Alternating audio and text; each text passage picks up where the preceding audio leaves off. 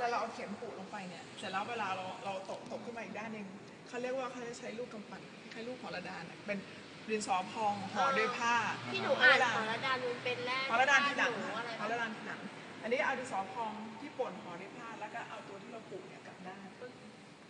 ประโยชน์ของมันคือเวลาที่เราตกด้วยตัวตัวลูกประคบอันนี้เนี่ยตัวตัวดินสอพองจะลงตามมือที่เราปลูกคือเพราะว่าตอนเราทิ่มเนี่ยตอนเราทิ่มเหมือนปากมันจะนี่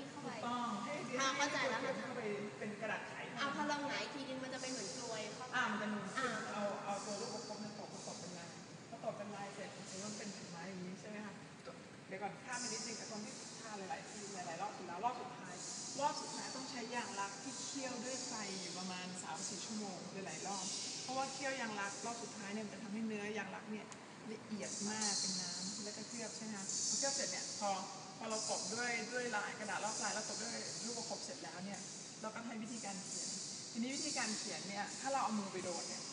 ลายก็หลุดเพราะมันเป็นสะพานอ่าใช่ไหมต้องใช้สะพานมือเขาเรียกสะพานมือ คำว่าสะพานมือก็คือไม้แท่งยาวๆไม้แผ่นยาวๆแล้วทำเป็นขาตั้งแล้ววาง Oh no ต้องใช้กระดานต้องใช้ต้องใช้สะพานมือทั้งนั้น แล้วก็เขียนด้วยคู่อ๋กัอนว่าไม่ลองมือไว้เหรอถูกต้องใช่ถ้าไม่ลองโอเคคือมือเนี่ยถ้าเกิดโยงอย่างเงี้ยเขียนแล้วอยู่ไม่ได้ เพราะว่าผู้การต้องใช้เบอร์สูตรพิเศษเพราะที่หนูเคยเห็นเวลาเขาถือใครก็จะเอานิ้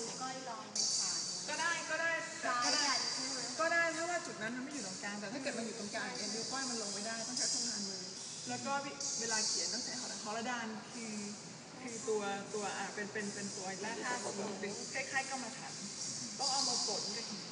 แล้วเอาผงนั้นเอาไปผสมน้ำจริงๆผสมน้ำไม่ได้ผสมผส